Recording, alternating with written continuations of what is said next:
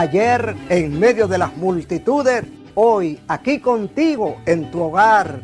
Escucha el consejo de Dios. ¡Gloria a Cristo! En Isaías capítulo 6, versículo 8, el profeta oyó la voz de Dios diciendo, ¿a quién enviaremos? ¿Quién irá por nosotros? Y el profeta era avispadito, así como usted.